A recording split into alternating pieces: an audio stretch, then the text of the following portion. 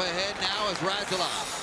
Radulov for Lehkonen, dropped off, centering pass, what a stop by Greiss! He comes across and keeps it out and then gets some help as the rebound is cleared and now it's three on two back the other way. Boy, Plekanec goes right to the net and Greiss with a an unbelievable save, really. Another man advantage break for Montreal here.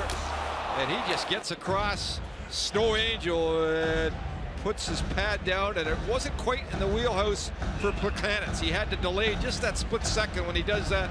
That allows the goaltender to get right out over and make an unbelievable save.